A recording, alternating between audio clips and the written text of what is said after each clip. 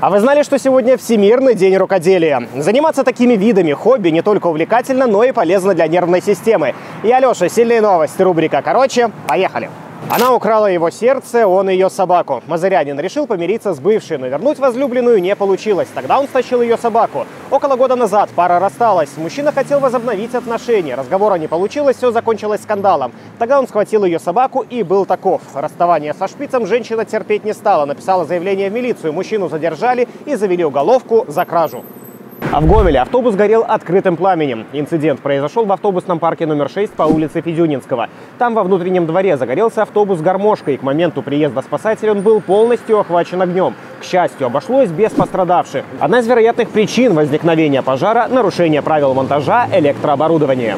Многострадальный Сельмашевский путепровод могут закрыть на ремонт уже в начале следующего года. Об этом на встрече с жильцами Мельникова Луга рассказал губернатор Геннадий Соловей. На реконструкцию планируют потратить 14 миллионов рублей. Строители, в свою очередь, точных сроков начала ремонтных работ не называют. Говорят, все будет зависеть от финансирования.